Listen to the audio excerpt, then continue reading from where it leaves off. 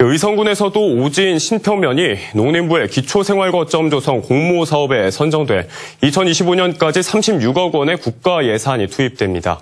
면 소재 지에도 주민 휴식 공간조차 없을 정도로 열악한 곳이지만 앞으로는 다양한 문화 공간과 복지 시설이 들어설 예정입니다. 이호영 기자입니다.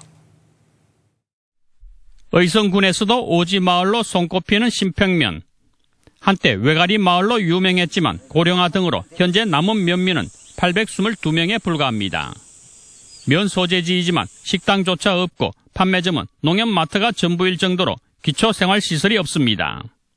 하지만 원래 지역 주민들이 열악한 생활시설을 개선하기 위한 의지를 모아 농림부의 기초생활 거점 조성 공모사업에 응모해 선정됐습니다.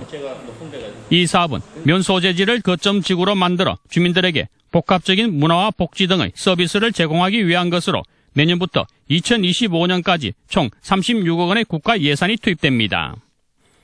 주민들은 마을 회관을 리모델링해 문화, 복지, 교육 시설을 갖추고 외가리 공원 조성, 주민 보행로 개선 등의 사업을 추진할 계획입니다.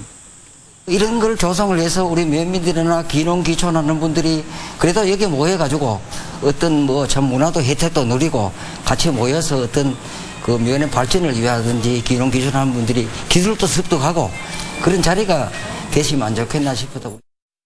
의성군 신평면이 기초생활 거점 조성지구로 선정된 것은 무엇보다도 귀농 인구가 다소 늘었기 때문입니다. 특히 5, 60대 증가가 두드러졌습니다. 신평면의 귀농인은 현재 전체 면면의 23%인 189명으로 3년 전보다 26명 증가했습니다. 이들은 직장 퇴직 후나 귀향 등으로 신평면에 정착해 고추나 마늘, 벼농사 등에 종사하고 있습니다.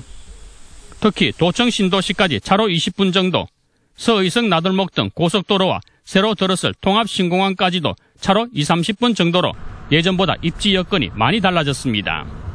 텃밭 농사하면서 건강을 관리하면서 살고 싶다면은 여기 이제 경상북 도청이 또 새로 이제 가까운 곳에 있고 나들목도 지금 인근에 20분 거리에 3개의 나들목이 있습니다. 지금 그렇게 있기 때문에 적극적으로 추천을 하고 싶은 곳이다 이렇게 생각을 합니다.